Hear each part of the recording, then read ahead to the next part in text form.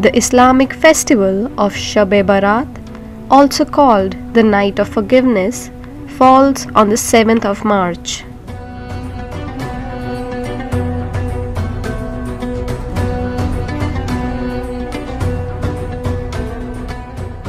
Mumbai's cemetery, Bada Qabrastan, is all set to host this important festival where more than 2 lakh Muslims will make collective prayers. The Jama Masjid Trust, along with the Maharashtra Police, have taken all the necessary steps to maintain law and order during the festival.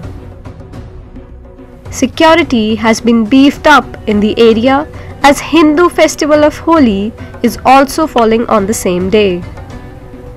The CCTV cameras have also been installed everywhere on the cemetery premises.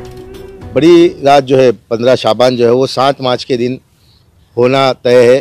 तो उसी की बुनियाद के ऊपर Jama Masjid Bombay trust ने जो इंतज़ाम किए हैं पुलिस के साथ में मिलकर, वो है जो सीसीटीवी सबसे पहले हमने पूरे कब्रिस्तान को जो है, वो सीसीटीवी किया है। उसके बाद में जो होली का त्यौहार भी है उसी दिन, उसको मद्देनज़र रखते हुए हमने जो है मेन स्पेशल जो पार्किंग की जो सहूलतें हैं और एंट्री और एग्ज़िट जो है, वो हमने मरीन लाइन स्टेशन के सामने जो गेट्स है, दस नंबर गेट और मसान का गेट, वहाँ पर सारा इंतज़ाम किया हुआ है।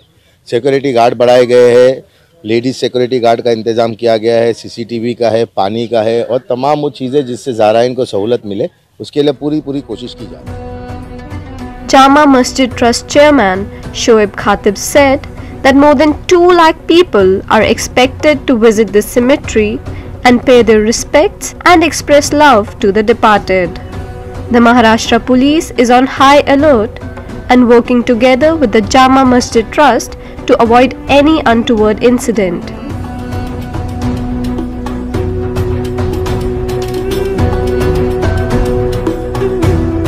Khatib made an appeal on behalf of the Jama Masjid Trust to maintain law and order during the festival.